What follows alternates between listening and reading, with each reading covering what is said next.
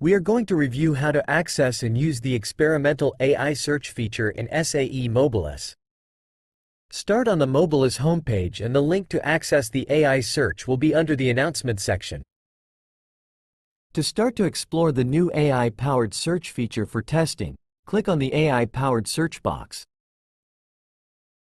After reading the paragraph, click on the link to complete the survey and start to use the AI search.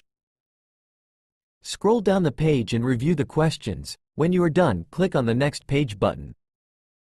Click on the box at the top of the page to enter the AI search. Enter your search in the highlighted box in a conversational tone. The example here asks, what documents are used in EV charging? The results show an overview of information. Below the overview are the links to the documents available in SAE Mobilus.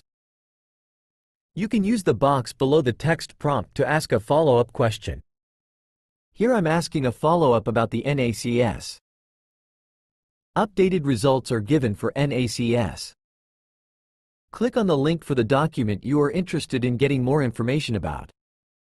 You are then sent to the document page where you can now review the document, download, annotate, etc.